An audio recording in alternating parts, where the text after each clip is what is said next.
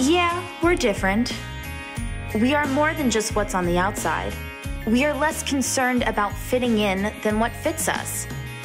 We each have our own perspective and our own style. Plato's Closet has the gently used clothes, shoes, and accessories we want for way less than other stores, and they'll pay cash on the spot for our items.